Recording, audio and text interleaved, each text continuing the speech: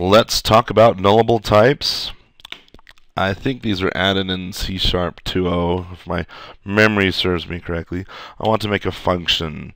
Alright, it will return an int, and I will say get balance from taxman. Okay, and um, and uh, generally when dealing with money, we would we would use the decimal type instead of an int, but with, with taxes, at least when I pay my taxes, they don't care about the cents. They only care about the dollars. You know, you just round to the nearest dollar as long as it is in the government's favor, kind of thing. So, well, let's use ints just to keep the number really where it's at.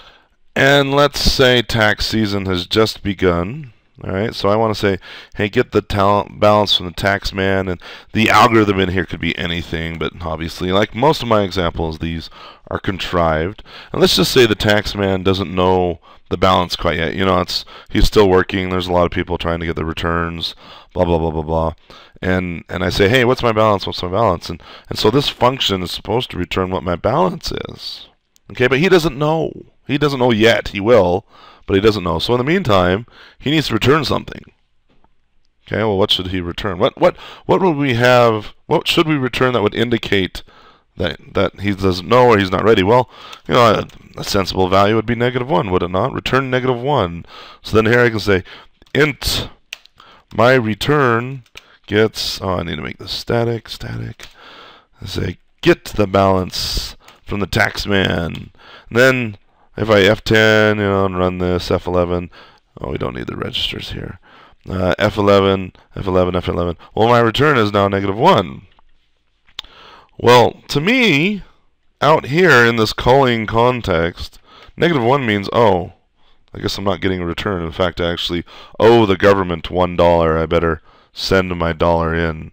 When that's not what it really means. It means, hey, um, I don't really know. That's that's a uh, so there's a I don't know ambiguity here.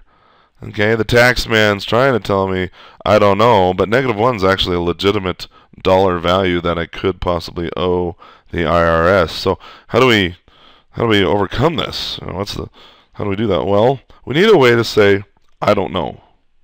All right. Now, if this was a string, you know, say say let's do a string, a string.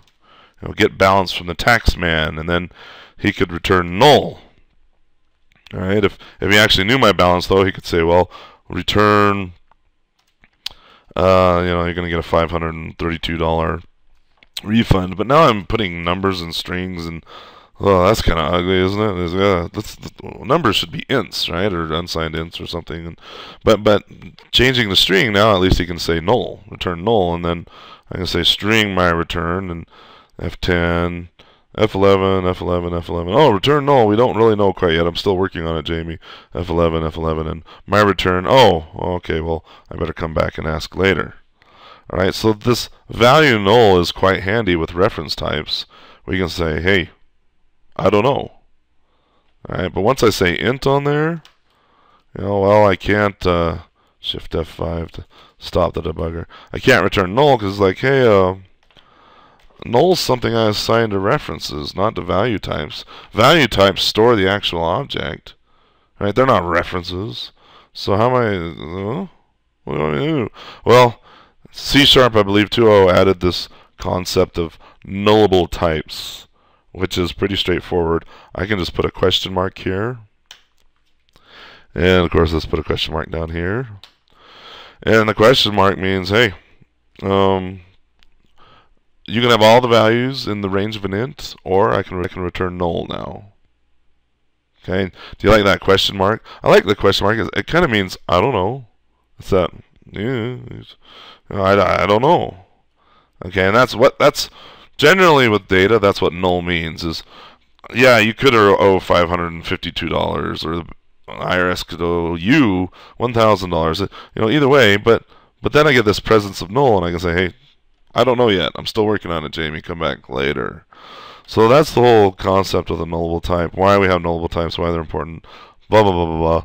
As always, next future videos, I'm going to dissect this and show you how this actually works.